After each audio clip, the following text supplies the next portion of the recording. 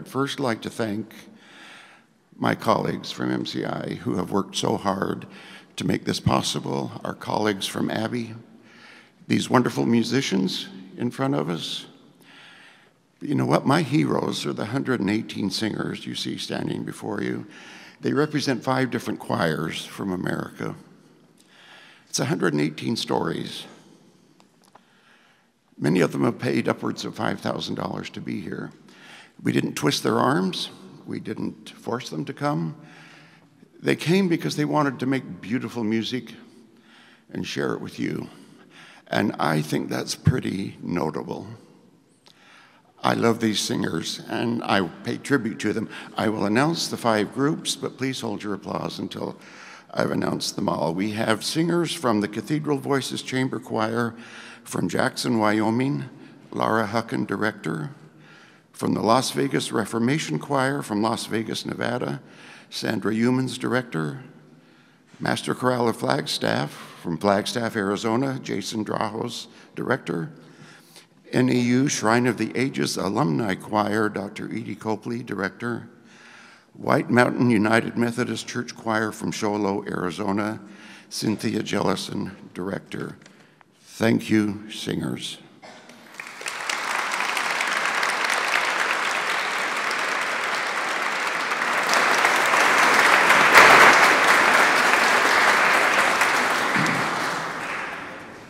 I mentioned this is a miracle, and I don't want to belabor this, but everybody has been challenged to be here. One of our choirs missed a connecting flight in Chicago to even get here, and they waited in the United States for three more days to get here. About three weeks before we arrived, we were informed that our hotels had been taken over by the government to host refugees. Picture colleagues calling every hotel in Dublin. Have you got another room today? No, but we're going to keep calling. And we called and we called. And two days before we arrived, we finally had beds for everybody. These are just a couple of the challenges. So I hope when you listen to this incredible music tonight, you appreciate that. Whatever you've been irritated about today, or whatever's bothered you for the last month or so, get rid of it. We're here. We're here to celebrate music. We're happy to be uh, sponsors and supporting the Irish Hospice Foundation. I would like to welcome Louise McCarran, who's the fundraising manager for the organization, to say a few words.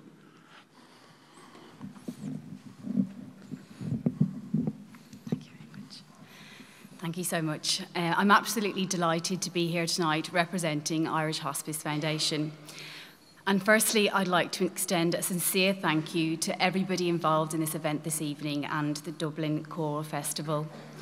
This is the fifth year of the partnership, and we really appreciate this long-standing and continued support. Irish Hospice Foundation is a national organisation that addresses dying, death and bereavement in Ireland. These are tough topics, but I think you'll agree, very important ones. Our vision is an Ireland where those facing death and bereavement and those that care for them are provided with the care and support that they need. We work across all care settings, including hospitals, residential care, nursing homes, and in the community. One of our biggest services is Nurses for Night Care, and this service supports people to spend their final days at home with their loved ones whilst receiving professional nursing care. And right about now, nurses are knocking on doors of families to provide that vital care to the patient and much needed respite to their families. The demand for this service increases year on year, and without the income from fundraising events like this and donations, we simply couldn't keep up with that demand. And with this in mind, we would be so appreciative of any donation, big or small, that you're able to give this evening. Again, I'd like to extend sincere thanks to everybody here that has helped organise this event, and I hope you all have a wonderful night. Thank you.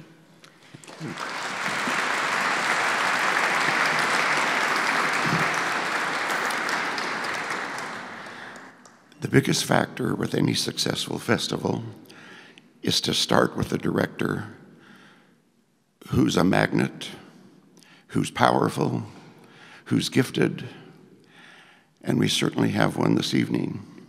Dr. Edith Copley is not only a good friend, but she's one of the most sought after choral directors in the United States. She's the president elect of the 15,000 member American Choral Directors Association, and as such, she's going to be blessing us with lots of leadership for the next eight years. Please welcome to the podium Dr. Edith Copley.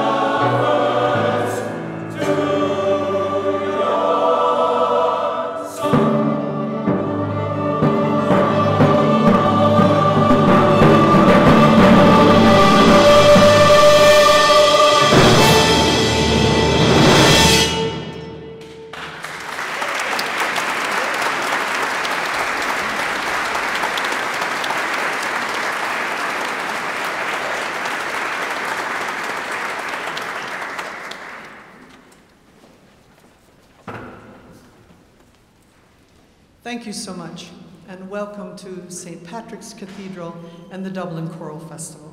We are so glad that you could join us here tonight.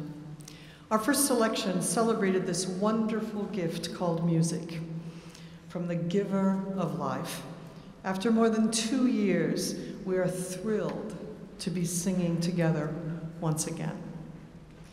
We continue with two more songs of faith The first is by the great Irish composer and teacher, Charles Wood.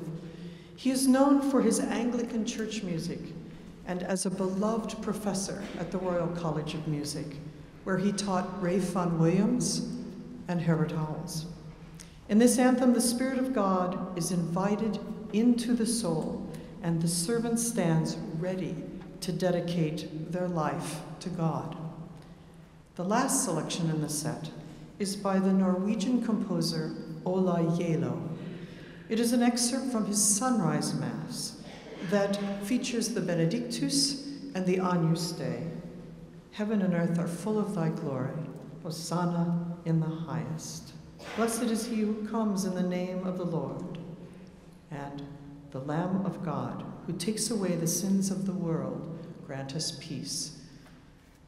Expectans Expectavi by Charles Wood, and The Ground by Ola Gjeilo.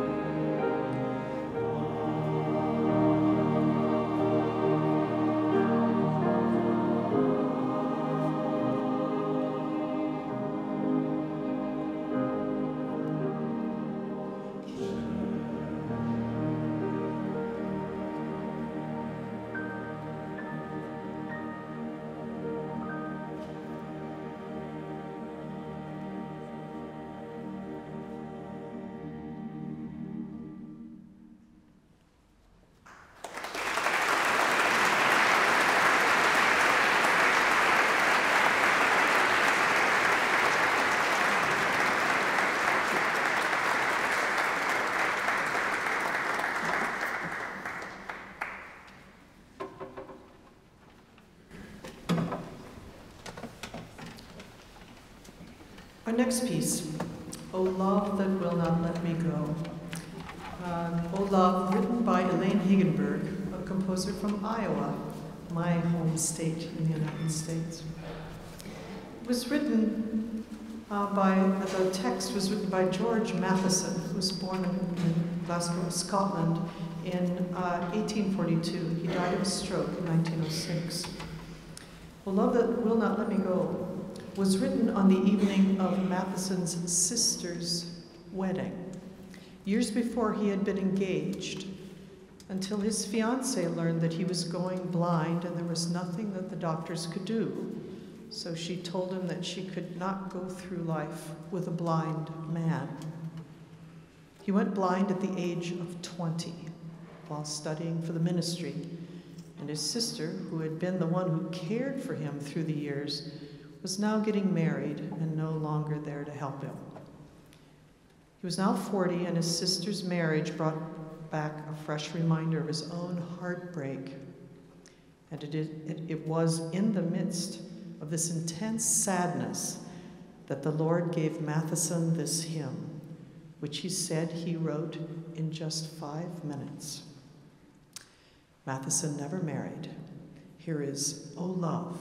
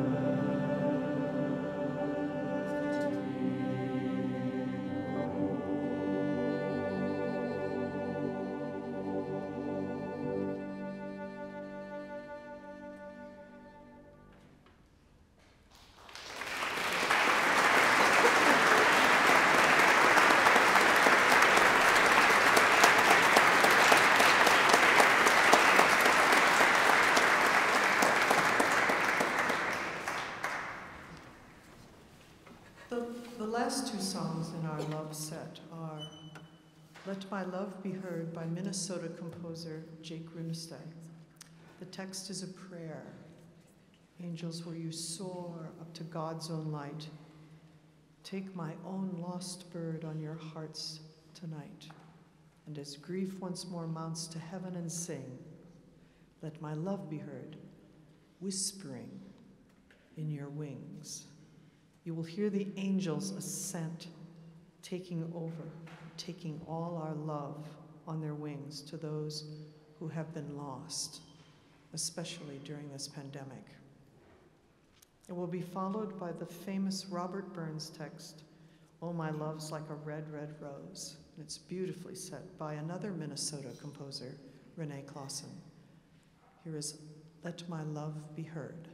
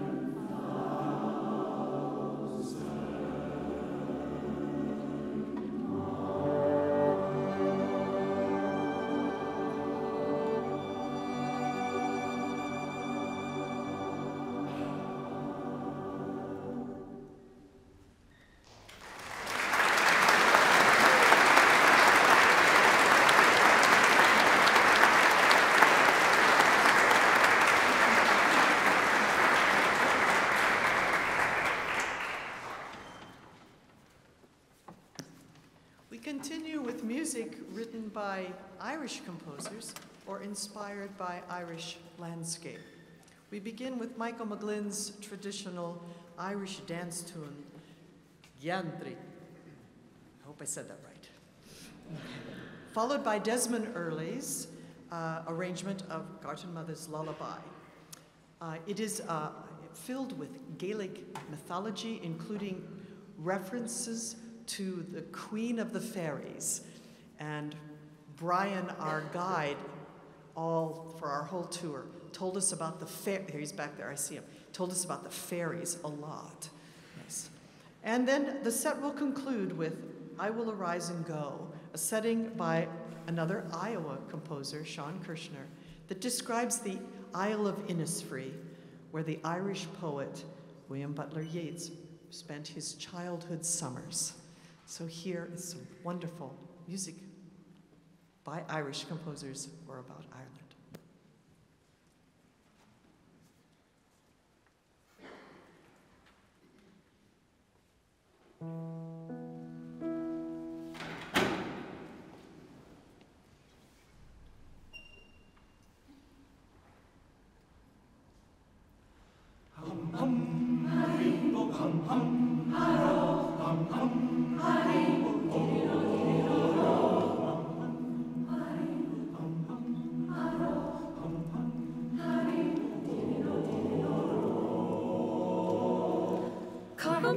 Karamitsurs sus, karamitsurs geheski, karamitsurs sus, shakrachina peski, karamitsurs sus, karamitsurs geheski, karamitsurs sus, shakrachina peski, delische dos ist das, delische dos ist beige, delische dos ist das, wie wenn sie fehler hela, delische dos ist das, delische dos ist beige, delische dos ist das, wie wenn sie fehler hela. Karamitsus, sus, karamitsus, am Fasta, karamitsus, sus, der schokrische Nuss am Mar, karamitsus, sus, karamitsus, am Fasta, karamitsus, sus, der schokrische Nuss am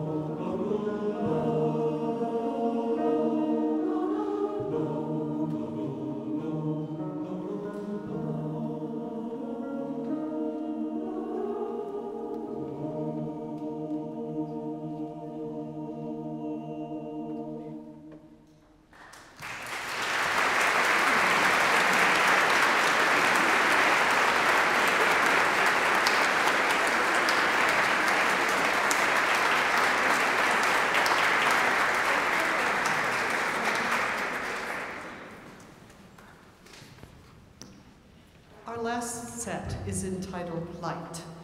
The first is an old Southern harmony tune from the early 19th century. I know I say old, early 19th century, and people in Europe go, that's not old. Um, and it describes the glorious light from the Star of Bethlehem, the star in the east. The second piece is a piece by Kyle Pederson, three years ago, just before the pandemic. Um, Can We Sing the Darkness to Light was published. And I was immediately taken by this text, um, which was written by the composer. I think it's particularly uh, poignant given um, the recent gun violence in the United States and also this horrific war in Ukraine. What if instead of more violence, we let our weapons fall silent? No more judgment. Seeing each other as brothers and sisters with compassion and grace. So here is a wonderful setting, brightest and best, and can we sing the darkness to light?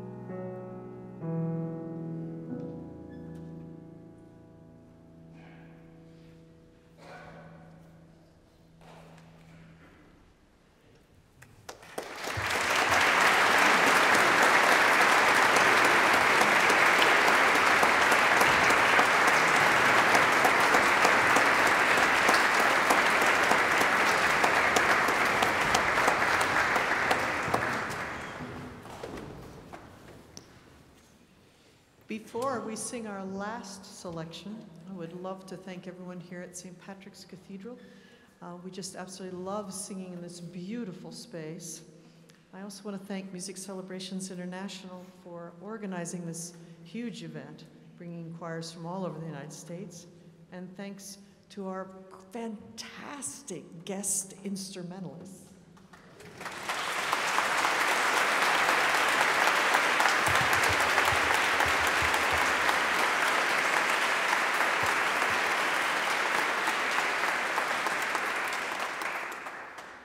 I also want to thank um, all the members of the choir and their conductors, uh, not only for participating, but preparing to come to the, the festival. I know it takes a lot of work, and it, as John said, it, it's what makes this festival successful. And not last but not least, thanks to all of you for coming tonight to this uh, concert. We loved having you here. We hope you enjoyed it. We're going to end with a great American gospel piece, and it's by Keith Hampton, and it's going to feature Celine Durney and Sam McGehee. We hope you enjoy True Light.